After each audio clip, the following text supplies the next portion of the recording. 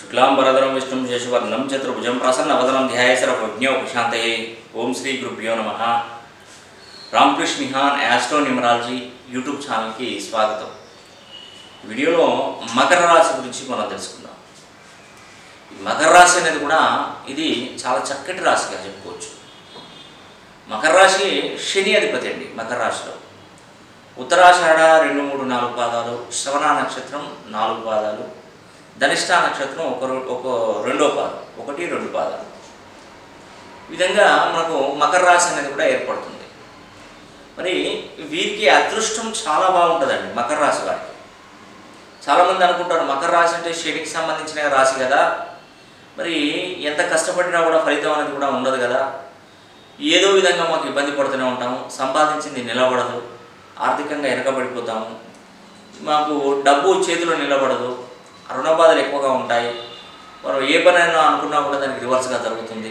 ఇలాంటి విషయాలు నేను చాలామంది దగ్గర నేను విన్నాను. నా దగ్గరికి వచ్చిన వాళ్ళ దగ్గర ఈ విషయాలన్నీ కూడా నేను పూర్తి స్థాయిలో విన్నాను. కానీ ఈ మకర రాశి అనేది కూడా చిన్న చిన్న మనకు కొన్ని కొన్ని విషయాలలో కనుక మనం అవి తెలుసుకోగలిగితే ఖచ్చితంగా మనం ఉన్నత స్థాయికి వెళ్తామండి. దానికి సంబంధించిన రెమెడీస్ అనేది కూడా తప్పకుండా ఉంటాయండి. మన దగ్గర ఉన్నటువంటి తాళపత్ర గ్రంథాలలో మనం అన్ని విధాలా పరిశీలన చేస్తాం. ఫస్ట్ హస్తరేఖలను పరిశీలన చేసినప్పుడు ఈ హస్తరేఖలలో ధనరేఖను మనం చూడవలసి ఉంటుంది. మీరు ఇంటి దగ్గర ఉన్నా కూడా మీ హస్తరేఖలు నాకు వాట్సాప్లో పంపిస్తే ఈ ధనరేఖలో మొత్తం జూమ్ చేసి చూస్తా. ఉపఖండన రేఖలు ఉంటాయి ఉపరేఖలు ఉంటాయి అదృష్టం ఎలా ఉంటుంది ఏ టైం నుండి ఏ టైం వరకు ఉంటుంది ఇతను అదృష్టం రావడానికి మనం ఎలాంటి రెమెడీస్ ఇతనికి ఎప్పి చేయించాలి? వాటికి సంబంధించిన అన్ని తారపత్ర గ్రంథాలు ఆ రేఖ విధానాన్ని బట్టి కింద మొత్తం లిఖించబడి ఉంటాయి. నీ ఎంతో మందికి ఈ విధంగా చెప్పి మరి నేను ఆ- రెమెడీస్ చేయించానండి. నిజంగా వాళ్ళకు ఎన్నో సంవత్సరాల పెండింగ్లో ఉన్నటువంటి పనులన్నీ పూర్తయి ఎప్పుడో ఒక ఇరవై సంవత్సరాల క్రితం ఎప్పుడో హైదరాబాద్ మహానగరంలో ఒక పాడుబడినటువంటి ఇల్లు స్థలము కోర్టు కేసులో పెండింగ్ ఉందండి. సంవత్సరాలు గడుస్తున్న కొద్దీ ఆ రోడ్డు సైడ్ ఉండే వరకు అది ఎంత విపరీతమైన రేట్లు పెరుగుతుంది మొత్తం వెయ్యి ఎనిమిది వందల నుండి వెయ్యి గజాల లోపు ఉంటుంది ఆ ఇల్లు స్థలం. అది పెరుగుతున్న అంటే రోజులు గడుస్తున్న కొద్దీ పెరుగుతూనే ఉంది. ఆ ప్రాపర్టీ మినిమం ఒక ఎనిమిది కోట్లు తొమ్మిది కోట్లు ఉండవచ్చు. వారు ఇన్ని సంవత్సరాల నుండి మేము పోరాడుతున్నాం. ఏమో మా అదృష్టం. వాళ్ళకు రావాలి మాకు రావాలి కానీ మొత్తానికి వాళ్ళకి కావాలని కో- వాళ్ళు అడుగుతున్నారు మమ్మల్ని బెదిరిస్తున్నారు అని చెప్పిన నేను నేమ్ న్యూమరాలజీ పరంగా నేమ్ కరెక్షన్ చేసి ఇచ్చాను.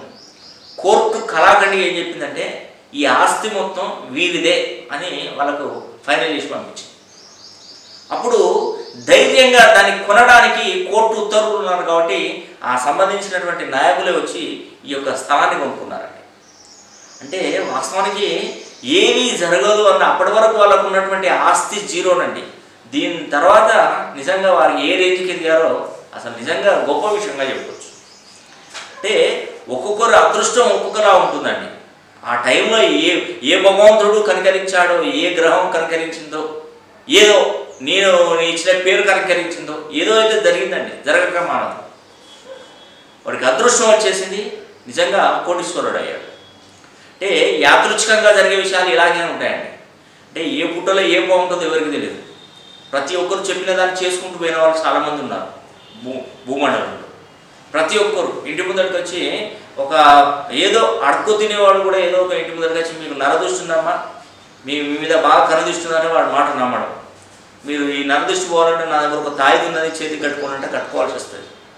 అంటే వాస్తవానికి ఏంటంటే ఆకలితో ఉన్నవాడికి పచ్చడి మెతుకులు కూడా పరమాన్నం లాగా అనిపిస్తాయి.